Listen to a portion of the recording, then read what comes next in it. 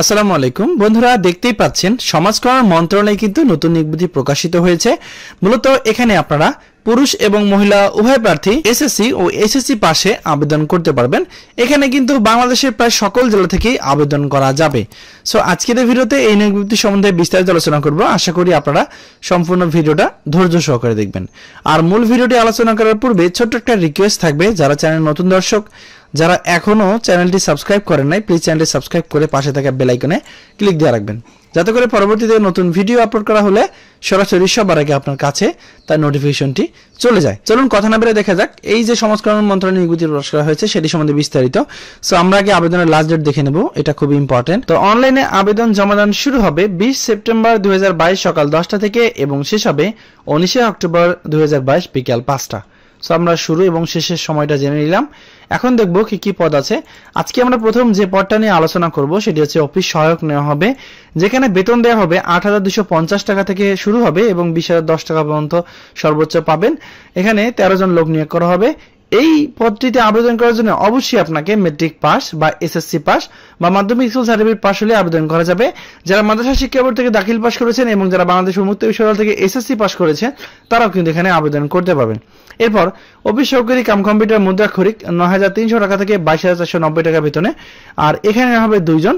শিক্ষাগত যোগ্যতা হচ্ছে উচ্চ মাধ্যমিক সার্টিফিকেট বা সম্মানের পরীক্ষা উত্তীর্ণ।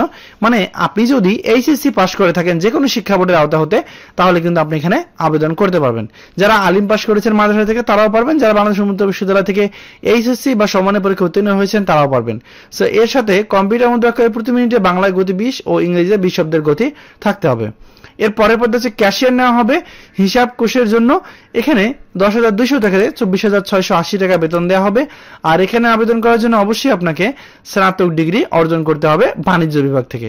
আর কম্পিউটার, ওয়ার্ড প্রসেসিং সহ কম্পিউটার চালানোর দক্ষতা ও অভিজ্ঞতা থাকতে হবে। এরপর বন্ধু দেখতে পাচ্ছেন, ষাট মুদ্রা করে কাম কম্পিউটার অপারেটর নেওয়া হবে, যার বেতন স্কেল শুরু হবে এগারো হাজার টাকা থেকে, যা সর্বোচ্চ ছাব্বিশ হাজার পাঁচশো নব্বই টাকা পর্যন্ত দেওয়া হবে। এখানে চারজন লোক নিয়োগ করা হবে।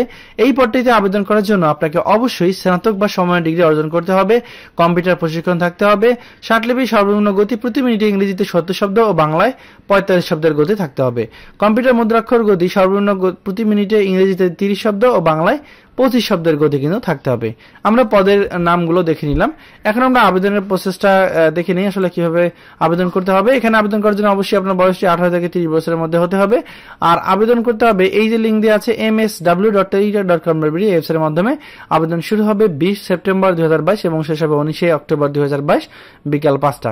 আর এখানে আবেদন করার সময় আপনার ছবির স্বাক্ষরের প্রয়োজন পড়বে। এই যে ছবির স্বাক্ষর কীভাবে তৈরি করবেন সেই বিষয়ে অলরেডি ভিডিও তৈরি করা আছে, সেই ভিডিও লিঙ্কটা এই ডিসক্রিপশনে দেওয়া থাকবে, আপনারা সেখান থেকে দেখে নেবেন। আরেকটা বিষয় বলে দেবো, এখানে আবেদন ফি কত টাকা বা পরীক্ষার ফি কত টাকা? সেখানে বলা আছে, এক নং পদে তিন নং পদের জন্য একশো বারো টাকা এবং চার নং পদের জন্য পরীক্ষার ফি বাবদ ছাপ্পান্ন টাকা আবেদন সাবমিট করতে বাহাত্তর ঘণ্টার মধ্যে আপনাকে জমা দিতে হবে। আর জমা দেওয়ার প্রসেসটা এখানে দেওয়া আছে, আর এই নিয়োগ লিঙ্ক এই ভিডিও ডিসক্রিপশন এবং প্রথম কমেন্টে দেওয়া আছে। আপনারা ভালোভাবে দেখে বুঝে শুনে তারপর আবেদন করবেন। এখন এসে কোন কোন জেলার প্রার্থীরা এখানে আবেদন করতে পারবেন। এগুলো এখানে দেয়া আছে। এই দেখেন, এই কয়েকটি জেলা কিন্তু আবেদন করতে পারবেন এখানে অনেকগুলো জেলা দেওয়া আছে।